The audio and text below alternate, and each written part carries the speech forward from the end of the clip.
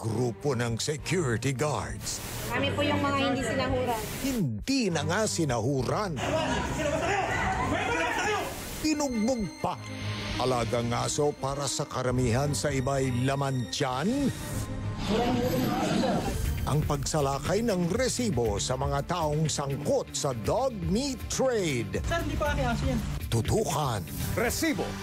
Walang lusot ang may atraso. Sunday 5 p.m.